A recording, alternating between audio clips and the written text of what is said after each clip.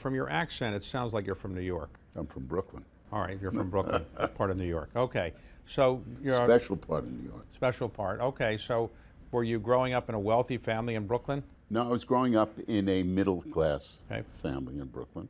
And what did your father do? My father had a produce and frozen food distributorship right in lower Manhattan in the old Washington market, and it was doing about $2 million a year in total volume, but he supported a family beautifully on it. Okay, so were you a superstar student in high school or a great athlete? What were you most interested in? Well, I thought I was a great athlete, that's for sure. I don't know that my coaches agreed with me, but uh, I was not a superstar student.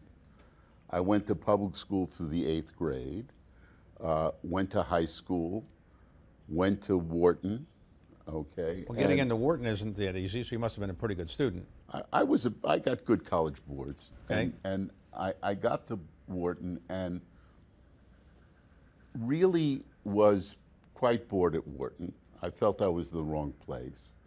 What I really wanted to do was ski. So I left Wharton and I went up to Maine and became a ski bum. What did your family say, uh, Nelson? We really wanted you to go to Wharton and be a good student. You're want to ski? I mean, that's not what you're supposed to do. That's correct. They did say that. what did you do? You said, I went. ski. I, I. My father was an amazing guy. He wasn't happy that I left Wharton. He wasn't happy that I was a ski bum, and he wasn't happy that I grew a beard. But I did all of those things, and uh, the snow melted in late spring, and came back, and I had a, a summer job offered to me in Mount Hood, Oregon, to help them and teach racing to young kids in Mount Hood, Oregon, and I needed some money to get out there. I asked him if he'd give me a job on a truck, a hundred bucks a week, two weeks. That was all I needed. He said, "Fine, shave your beard off and do it." I said, "I, I would." So I shaved my beard off, and after about a week on the job, I started telling him things that I thought that were missed opportunities.